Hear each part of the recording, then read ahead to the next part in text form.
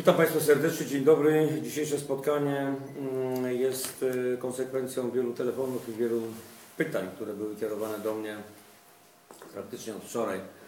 U dokazania się informacji, która by wskazywała na, y, na to, że w organizmie mm, Magdaleny Żuk y, miały być środki antydepresyjne, środki, które mogły przeciwdziałać przeciwko schizofrenii, przeciwko chorobie psychicznej, przeciwko również y, y, silnym załamaniom depresyjnym.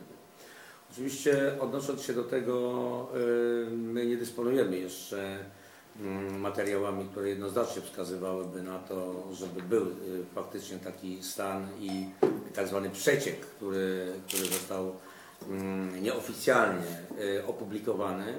Y, Być może ma y, na rzeczy pewnego rodzaju mm, wprowadzenie informacji, która być może miałaby zmienić y, czy to decyzję prokuratury, czy też nie. Z tego co wiem, e, prokuratura ma zamiar przedłużyć śledztwo w tej sprawie.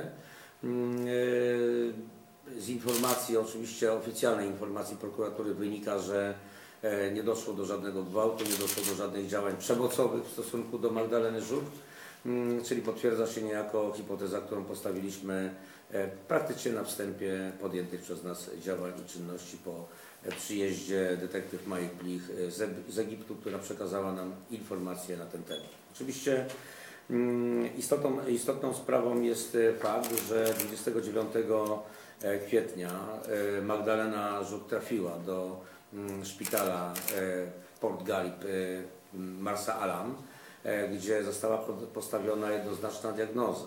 E, mm, Skłonności samobójcze, skrajne załamanie nerwowe. E, Oczywiście my dysponujemy tym raportem. E, Ci z Państwa, którzy, mm, którzy nie dysponują, którzy nie mają wiedzy na temat tego raportu, ponieważ e, my publikowaliśmy, pokazywaliśmy Państwu mm, raport medyczny z Hurgady, który niejako wskazywał na przyczyny śmierci mm, e, Magdaleny Żuk, do której doszło się praktycznie 14 godzin od momentu upadku, czyli o 3.30 e, wyskoczyła z okna, o godzinie 17.30 zmarła w szpitalu w Hurgadzie. Po przewiezieniu jej ze szpitala w Marsa Alam e, praktycznie w stanie bardzo ciężkim, ponieważ upadek ten spowodował bardzo poważne obrażenia, mm, w wyniku których było, e, były był tak zwany mm, e, e, tak zwane działanie lekarzy e, doprowadzające do tego, że starano jej się e, wypuścić niejako 2 litry krwi, zostały spuszczone 2, litry krwi mm, z jej płuc, ponieważ mogłoby dojść do wcześniejszej śmierci, niemniej jednak e, ta, ta czynność miała być wykonana w szpitalu mm, e, w Port Galip e, w Marsa Alam.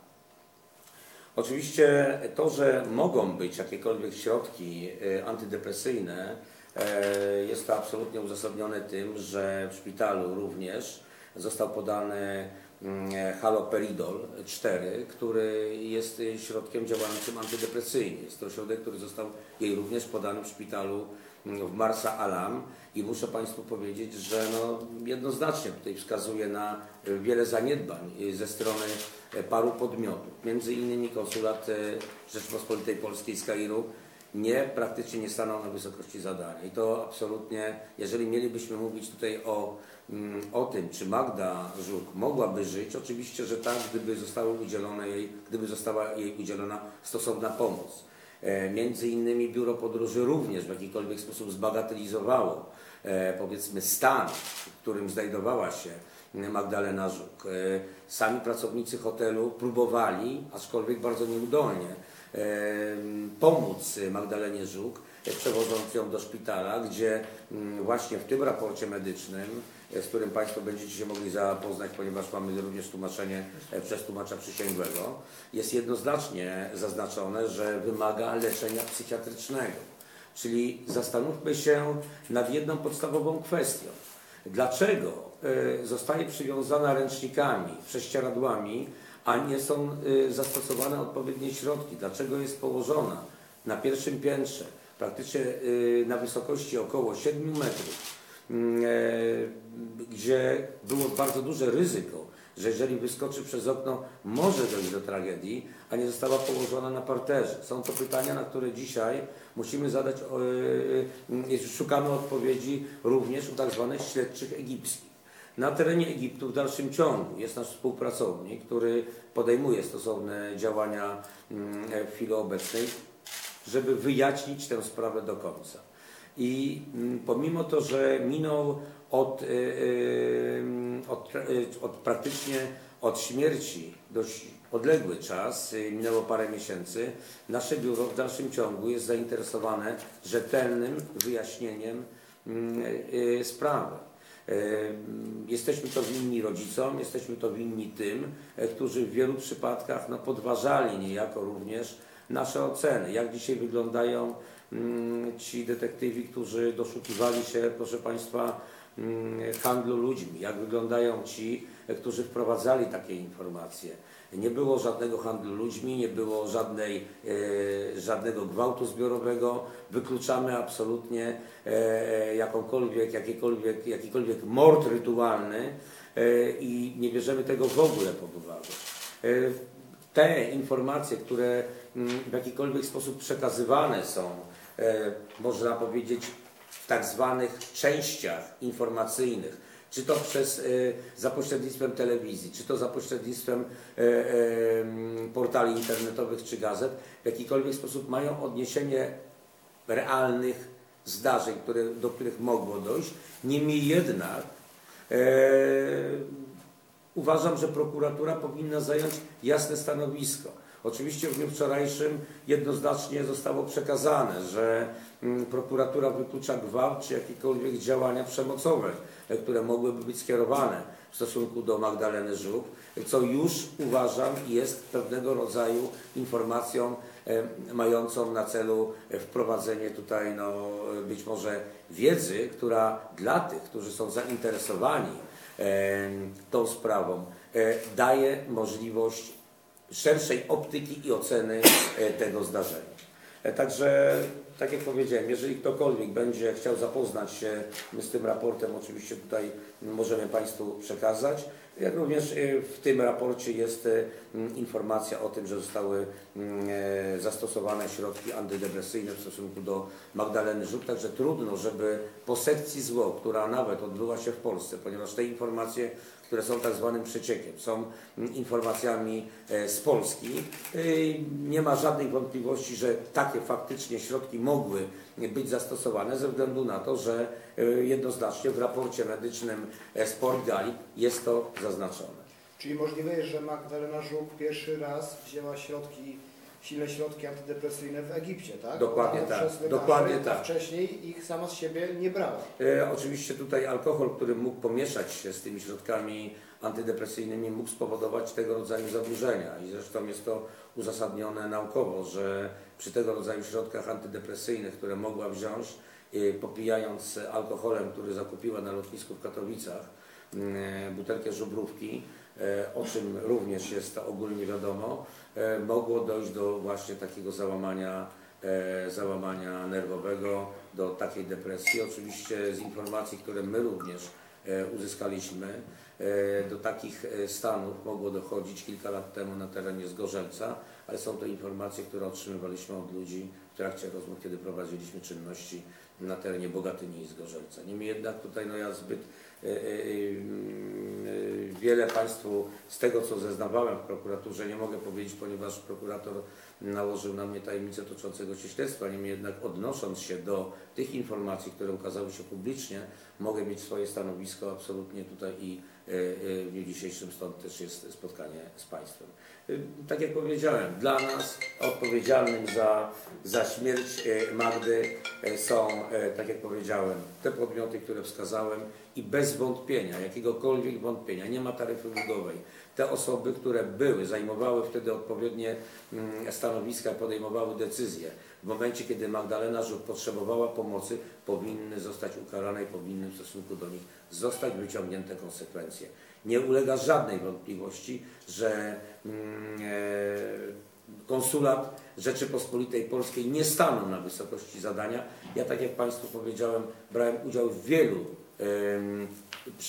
w wielu przewozach, w wielu transportach ludzi, którzy byli dotknięci w jakikolwiek sposób stanami depresyjnymi. Między innymi przewoziliśmy chłopaka, e, który był w bardzo ciężkim stanie psychicznym e, z Nowej Zelandii, gdzie ta podróż trwała bardzo długo. W tym przypadku można było również zastosować inne środki pomocowe, inne środki transportowe, e, które dałyby możliwość przewiezienia Magdy do Polski, ponieważ gdyby Magda była w Polsce, na pewno by żyła.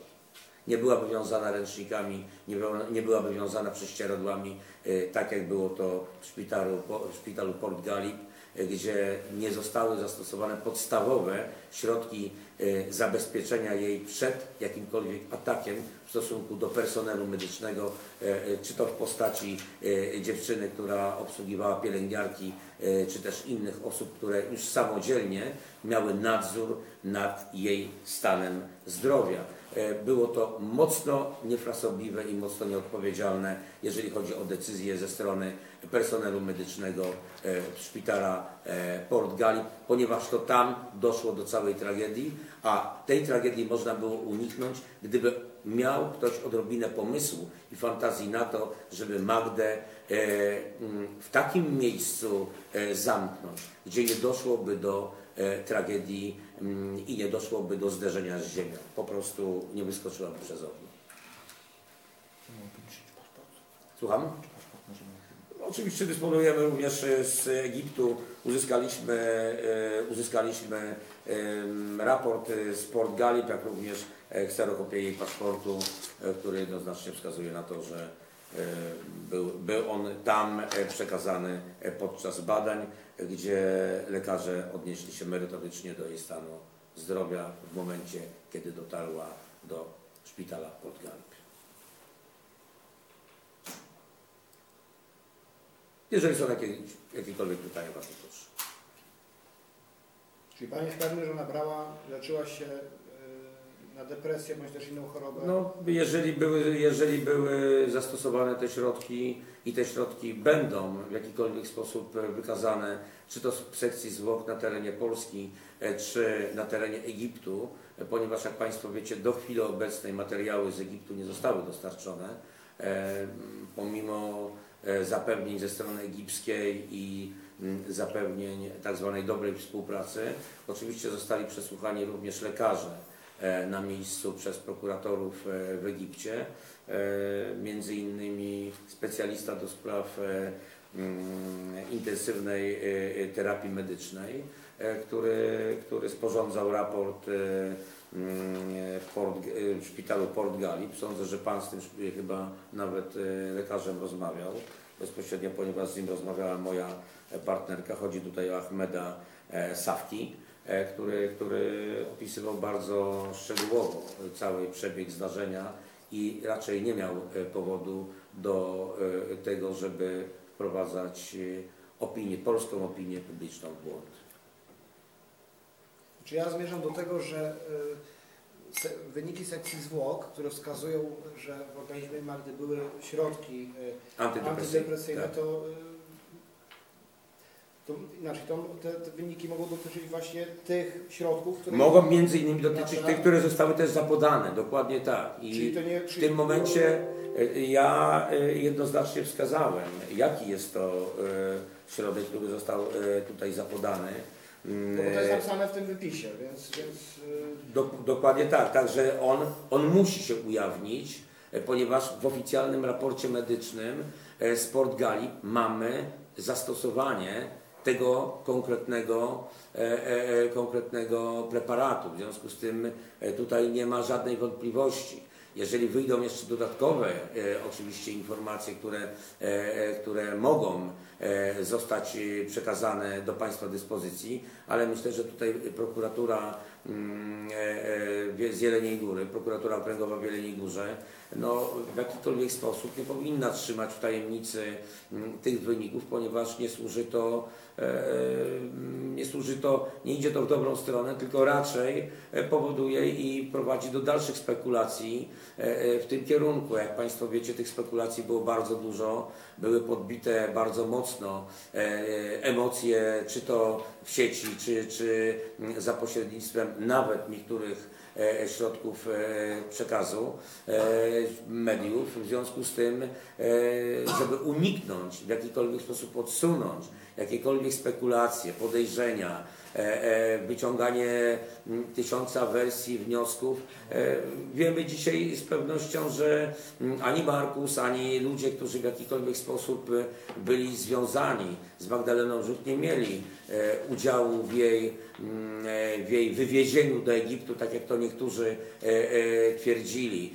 Nawet tak zwany świadek koronny odnosił się do tego niejaki pan Masa, który opowiadać zaczął o tak zwanej grupie zorganizowanej, przestępczej na terenie Wrocławia, która działa i wywozi dziewczyny, sprzedaje je gdzieś za granicę. Panie Masa, pan się puknie w łeb i pan się nad tym zastanowi, co pan mówi, bo y, pan do każdej wersji ma swoją ocenę. Ja muszę wam powiedzieć, że nawet stworzyła się taka grupa antyrutkowski, e, która e, e, tak jakby mm, starała się i zaczęła walczyć tutaj z moją teorią, tworząc swoją własną ocenę sytuacji, aczkolwiek coraz bardziej mm, ta esencja jest zmniejszona, jeżeli chodzi o jakąkolwiek świadomość i przekaz informacji, ponieważ to, czego dowiadujemy się na bieżąco w tym momencie, daje nam jednoznaczną ocenę i jednoznaczne stanowisko. Proszę Państwa, ja sobie z tego zdaję sprawę, że mm, rodzinie też ciężko jest się pogodzić e, z, powiedzmy z takimi ocenami, że jednak doszło do załamania mm, nerwowego, doszło do jej stanu, który mógł doprowadzić do, e, do e, samobójstwa. Zresztą w raporcie mamy jednoznacznie mm, zaznaczone, Dziewczyna wymaga absolutnie, Magdalena Żuk wymaga leczenia psychiatrycznego. Musi być skierowana do szpitala psychiatrycznego. To mamy w tym raporcie. Jest jedno pytanie. Dlaczego, jeżeli lekarz, jeżeli specjaliści z y, Marsa Alam y, oceniają jej stan tak dramatyczny i tragiczny, nie udzielają jej stosownej pomocy? No proszę Państwa, no to się nie trzyma kupy. Jeżeli mamy szukać winnych, Oczywiście brak odpowiedniego nadzoru i kontroli i pomocy ze strony władz polskich jest absolutnie niewątpliwe. I tutaj nie, nie podlega to żadnej dyskusji. Ale jest to typowe działanie, mm, e, e, powiedzmy, konsulatów, które dopiero się wtedy zaczynają interesować sprawą, jak dochodzi do tragedii. Ja oczywiście mam bardzo duże doświadczenie, jeżeli chodzi o współpracę z, z placówkami dyplomatycznymi mm, polskimi na terenie e, całego świata i muszę Wam powiedzieć, że zależy to przede wszystkim nie od tego, co jest w dyrektywie czy mm, w tak zwanym zapisie e, zasad e, pomocowych e, Polakom, tylko w tym, jakich mamy ludzi po drugiej stronie okienka. Ja muszę powiedzieć, że w innych państwach pomagała mi ambasada rosyjska, a nie polska. I to są y, żenujące sytuacje. Tak było na przykład w Kanoi, kiedy potrzebowałem pomocy od polskiej placówki dyplomatycznej. Ludzie tak jakby się bali w jakikolwiek sposób podejmować działania przeciwko mm, y, grupom przestępczym na terenie Hanoi. Polacy się bali, Rosjanie się nie bali. No są to rzeczy niebywałe. No ja byłem tam obcy, zupełnie e, po raz pierwszy raz na terenie Wietnamu. No, potrzebowałem tej pomocy e, od tak zwanych przyjaciół. Przyjaciół, czyli ludzi, którzy są tam wysłani na, na, na powiedzmy służbę pomagania innym, natomiast spotykamy się wielokrotnie ze ścianą, ze zderzeniem, które niestety mm, przyjmuje charakter y, dużej dyskusji. Stąd też y, y, myślę, że jeżeli chodzi o Kair, y, Kair ma dobrą historię, ponieważ w wielu przypadkach ja miałem kontakt z konsulem mm, y, Mazurem, który, który był w Kairze i pomagał bardzo y, obywatelom i nie tylko, pochodzenia polskiego również, pomimo to, że Polka miała paszport niemiecki, on udzielał e, pomocy tej dziewczynie, która nie była obywatelem Polski, ale była pochodzenia polskiego i potrafił to zrobić. A dzisiaj mamy tego obraz i sytuację. Stąd też zastanówmy się nad tym, jak, e, e, jak pełnią służbę ci, którzy nie są świętymi krowa- krowami, i konsul to nie jest tylko i wyłącznie tak zwane nadanie mm, pewnej nominacji, żeby dobrze funkcjonować i dobrze żyć za granicą, ale również jest to osoba, która ma udzielać zawsze e, pomocy obywatelom naszego kraju. I tutaj coś się załamało, coś nie zafunkcjonowało mm, w należyty sposób. I jeżeli e, lekarze, e, służba medyczna, szpitala mm, e, Port Galip e, mm, e, Marsala y, jednoznacznie wskazuje środki pomocowe, skierowanie natychmiastowe do szpitala psychiatrycznego. To Państwo macie zapisane. I nie jest to zrobione. Nie stosują się do tego. Musimy wyciągać konsekwencje w stosunku do tych ludzi, którzy tam byli na miejscu. Bo gdyby to było w Polsce, lekarze, którzy nie, od, nie zadbali o zdrowie i życie pacjenta, bo mieliby praktycznie od razu zarzuty. W tej chwili, z informacji, które posiadam, w Egipcie żadna z osób nie, miała, nie ma postawionych zarzutów.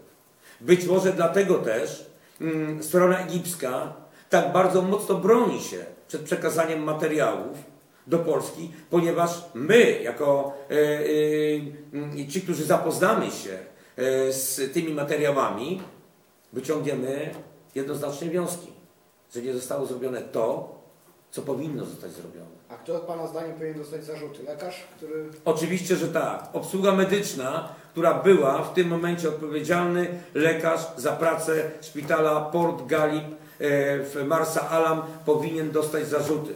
Ponieważ on, e, pomimo to, że zapisał e, w swoim raporcie natychmiastowe skierowanie do szpitala psychiatrycznego, e, pacjentka ma skłonności samobójcze, jak się do tego ma rzeczywistość i odniesienie. Chyba, że jest jeszcze jedna wątpliwość, o której musimy e, e, powiedzieć, nad którą się musimy zastanowić. Czy raport ten był sporządzany 29 kwietnia, czy 30, w momencie, kiedy wyskoczyła dziewczyna przez okno. Ale od tego są służby egipskie, które powinny zabezpieczyć komputer lekarza i mieć ewidentne czasy sporządzenia tego raportu.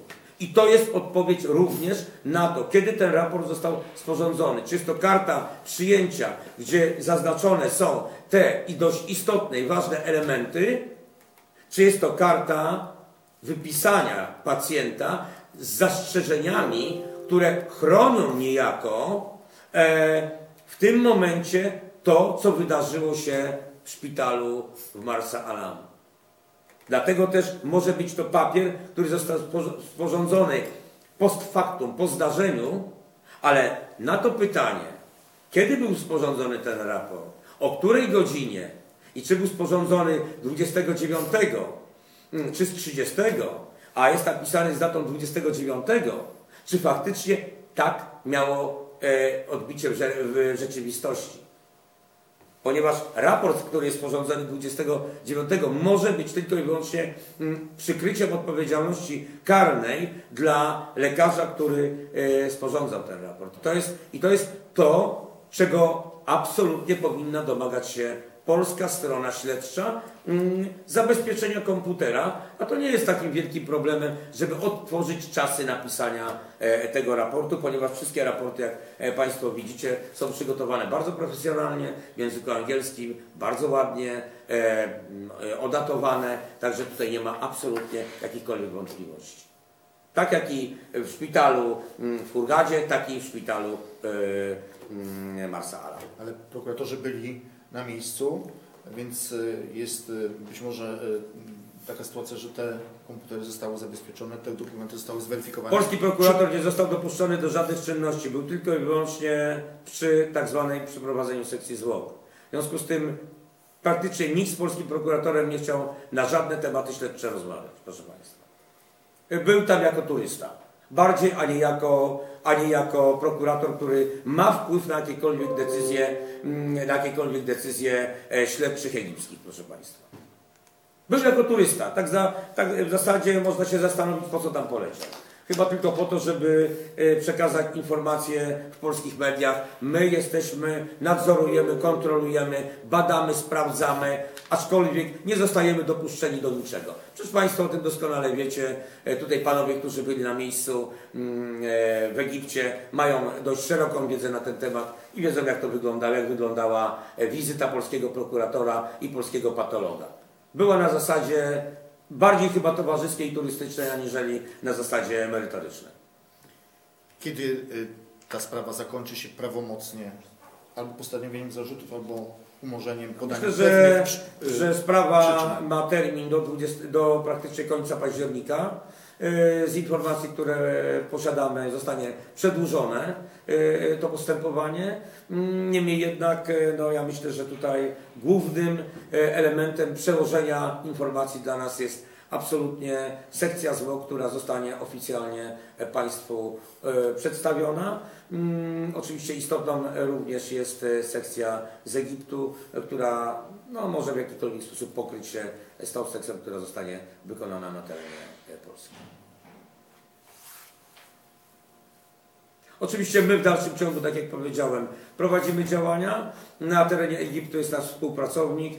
Chwili obecnej, jeżeli będziemy mieli jakiekolwiek informacje, które będą dla, dla, dla Państwa interesujące, przekażemy je. Jeżeli będziemy dysponować materiałami, które będą znaczące mm, dla e, polskiej prokuratury, również przekażemy. E, ja z pewnej wątpliwości, czy prokuratura polska dysponuje tym raportem e, z Marsa Alam ze szpitala Port Galip e, mm, przekażę e, przy- z czystej kurtuazji i gdyby, e, gdyby panowie prokuratorzy nie dysponowali tym raportem, będą mieli e, raport e, w tak, zwanym, w tak zwanej wersji mm, oryginalnej, jak również w wersji tłumaczenia przez tłumacza przysięgłego, co nie będą się musieli kłopotać z rozczytaniem tego materiału. Jeżeli nie ma żadnych pytań, bardzo dziękuję Państwu za uwagę i za zainteresowanie się tematem. Bardzo dziękuję.